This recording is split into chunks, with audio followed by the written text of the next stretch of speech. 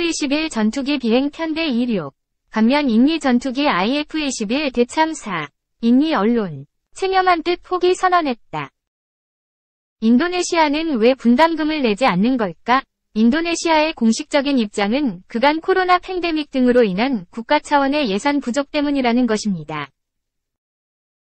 경제 규모는 우리와 비슷할 정도로 성장했지만 실질적인 경제력이나 국방 예산 투자 여력은 한국과 비교하기 힘든 수준이며 실제로 팬데믹으로 예산이 고갈됐던 현실적인 이유가 있다는 분석입니다. 그러나 일각에서는 예산 부족 상황에서 미국과는 F-15 도입을 타진하고 프랑스와는 라팔 도입 계약을 하는 등 예산 부족이라는 말이 무색할 정도의 광폭 행보를 보이고 있어 설득력이 없다고 주장하고 있습니다. 최근에는 미라주 마이너스 2000 중고 전투기를 구매한다는 뉴스까지 보도되면서 한국 정부를 당황시키기도 했습니다. 국산 전투기 KF-21 보라매의 공동개발국인 인도네시아가 분담금 지급을 미루고 있는 가운데 이 문제가 인도네시아 정가에서도 이슈가 되고 있다. 지난 11일 조코 의도도 인도네시아 대통령은 서자바 수메당 지역 유로터널 개통식에서 KF-21 분담금 지급에 대한 기자의 질문에 사업 참여는 국가 간 약속임을 분명히 했다. 조코 대통령은 재무부 장관에게 KF-21 보람의 전투기 사업에 대한 현재 상태를 질의할 예정이다. 라며 인도네시아는 여전히 한국에서 개발 중인 전투기 개발국이며 자금 조달 의무가 있다. 고 말했다.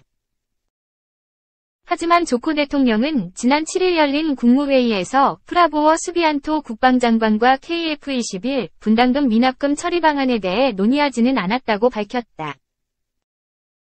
프라보어 장관은 2019년인 이 대통령 선거에서 조코 대통령과 경쟁을 벌였던 사이다. 1위를 한 조코 대통령은 55.5%, 야당 주자였던 프라보어 현 장관은 44.5%의 표를 받았다. 조코 대통령은 취임하고 그의 정적인 프라보어를 국방장관에 기용하며 야당과 정치적 동거를 시작했다.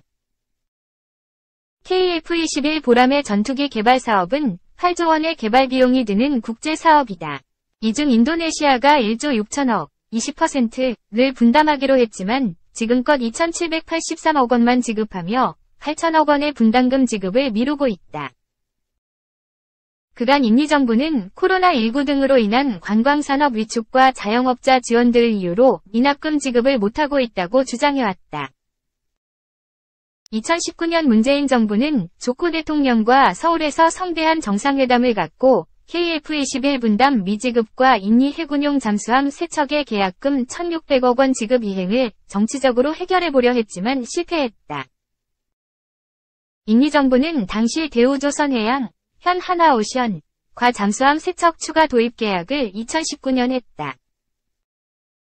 윤석열 정부가 들어서고 지난해 말 이종석 국방부 장관과 방위사업청 관계자 등이 지난 5월 인니 국방부와 연이은 협상을 시도했다. 그 해법으로 인니는 6월 말까지 분담금 미납분에 대한 처리 일정을 우리 정부에 제출하기로 구두로 약속했지만 이마저도 지키지 않고 있다. 방사청은 조만간 인니와 최종 고위급 면담을 진행하고 이 결과에 따라 KF-21 사업을 인니와 같이 할지를 결정한다는 방침이다. 국방부는 인니가 계속해 분담금 지급을 미루면 현재 파견돼 KF-21 시제기 탑승 조종사 훈련과 기술진에 대한 협력을 중지하는 초강수를 두겠다는 분위기인 것으로 알려지고 있다. 인니는 2026년 6월까지 개발비 1조 6천억을 내고 시제기 1대와 일부 기술 이전을 받게 된다. 또 48대를 인내 현지에서 생산하게 된다.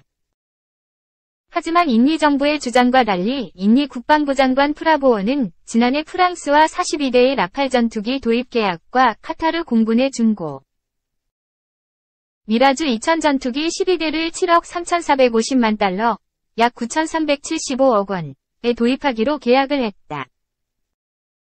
방산업계는 인니로부터 KF-21 전투기 분담금을 받아내기는 힘들 것으로 보는 전망이 우세한다. 그 이후로 내년 2월 프라보어 현 국방장관이 인니 대통령 선거에서 당선될 가능성이 높고 인도네시아가 겉으로는 분담금을 내겠다고 하지만 그것도 외교적인 수사에 지나지 않을 가능성이 크다는 것이 중론이다. 2. 남성욱의 한반도 워치. 푸틴의 주문 목록이 김정은에 전달됐다. 북러의 위험한 군사 밀월. 일본의 북한 전문가인 에야 오사무, 해곡치. 1946년에서 2018년, 시는 1998년 도쿄에서 개최된 세미나에서 북한 경제를 사중 경제라며 북한 정권의 돈줄을 분석했다. 북한 경제는 내각의 제1경제, 군수경제인 제2경제, 김정은의 궁정, 궁정, 경제인 제3경제, 마지막으로 장마당 시장경제 등 네바퀴로 돌아간다고 주장했다. 이중 궁정경제와 군수경제가 북한 정권을 지탱하는 핵심 축이다. 수령의 비자금 조달을 위한 궁정경제는 노동당 39호 실이 담당한다. 1970년대 중반 조직된 39호 실은 김일성, 김정일 등 김씨 일가의 외화벌이를 총괄한다. 20여 곳의 해외 지부와 국영기관을 운영한다. 과거에는 궁정경제가 사중 경제 중에서 가장 비중이 컸으나 2012년 김정은 집권 이후 제2경제가 빠르게 증가해 30%를 상회하며 제2경제위원회가 맡고 있다. 반대로 내각과 장마당의 민수경제는 점점 쪼그라들어 40% 미만이다. 식량이 부족하여 아사자가 발생하는 등 인민들이 의식주 부족에 허덕이는 이유다. 일찍이 일본의 북한 전문가들이 북한의 무기 개발과 거래 등 국가 기밀 사항을 체계적으로 파악할 수 있었던 이유는 평양이 일본 조총련을 통해 식무기에 들어가는 각종 센서, 회로 등 전자부품을 조달했기 때문이다. 필자도 세미나 이후 오사무 씨와 소통하며 일본 측 자료를 확보하는 데 관심을 쏟았다. 북한은 1980년대 들어서 제2경제위원회 산하에 항공우주 산업을 총괄하는 8총국을 신설했다. ICBM 등 각종 미사일 개발을 전담하기 위해서다. 제2경제위원회는 산하용악산, 부은무역, 삼광무역, 연합무역 등 무역회사를 통해 홍콩은행의 계좌를 개설하고 돈줄의 거래 통로를 마련했다. 용악산과 부은무역은 러시아와 창광무역은 중동을 주요 무대로 활동하였다. 연합무역은 미사일 부품과 기술의 수입을 담당하였다. 특히 잠수함과 전차 등 무기 제조에 필요한 직접회로 기판과 미사일 유도 시스템에 사용되는 스펙트럼 분석기를 일본에서 조달하였다. 일부 제품은 수화물로 위장하여 중국 등 제3국을 경유해 북한으로 운반하였다. 북한 기업과 거래했던 조총련계 회사는 도쿄, 오사카, 니가타 등지에서 한때 약 30소에 달했다. 조총련을 통한 식무기 부품 조달은 2006년 1차 북핵 실험 이후 발동된 유엔 대북 제재 11건으로 한계에 도달했다.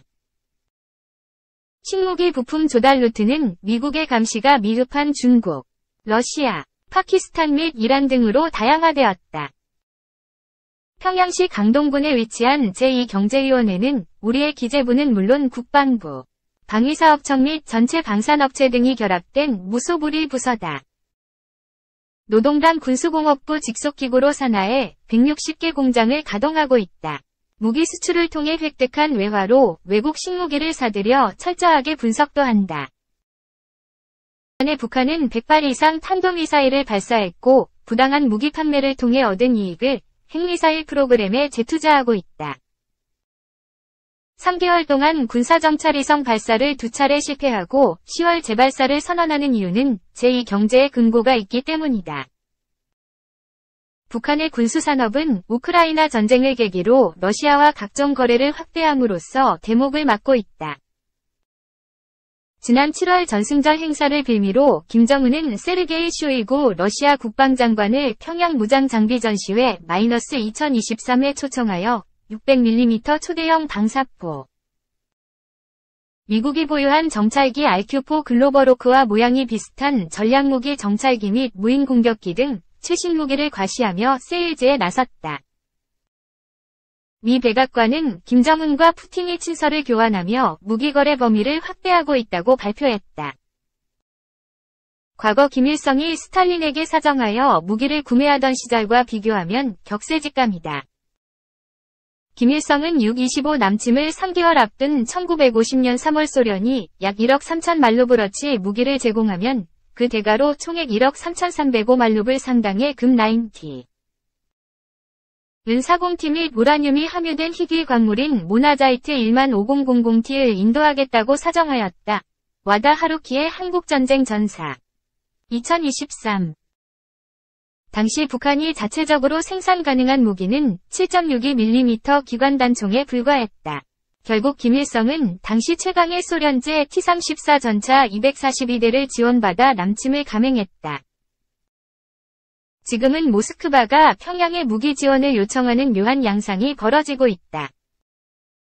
김정은은 지난달 2박 3일간 다수 군수공장을 돌아보며 국방경제사업의 강화로 무기와 군수물자의 대량 생산을 강조했다. 러시아와의 군사협력을 강화하기로 한 만큼 수출용 무기 생산에 박차를 가하려는 의도다.